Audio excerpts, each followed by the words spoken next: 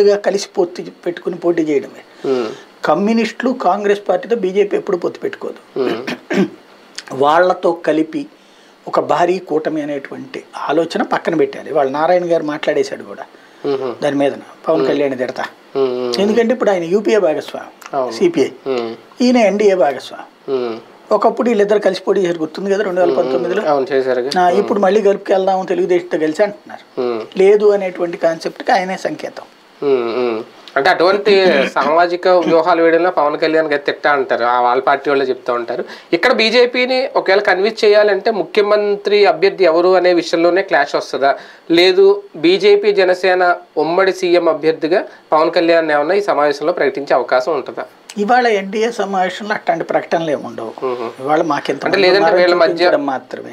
అది రాష్ట్రానికి సంబంధించిన అంశం అది జాతీయ అంశం కాదు కదా. అది భవిష్యత్తులో అనౌన్స్ చేయాల్సింది ఆల్రెడీ ఈయన